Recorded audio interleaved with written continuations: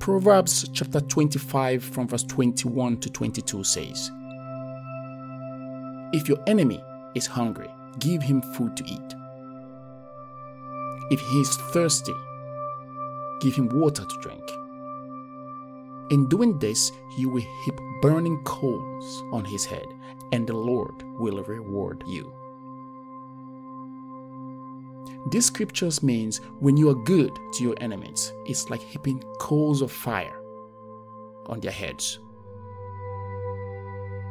You will think that if we treat our enemies the same way they treated us, that will be a good payback. Some might say, if they talk bad about me, I will talk bad about them. If they leave me out, I will leave them out too. If she's rude to me, two can play the game. I'll be rude to her too. That feels good to our flesh to let them have it. But you never come out ahead by doing to others what they did to you. The real way to see favor and increase is to bless your enemies.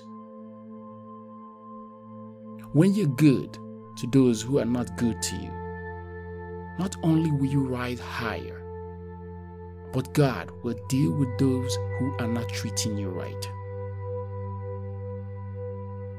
He knows how to heap coals of fire on them, how to put pressure on them, how to make them think differently of you.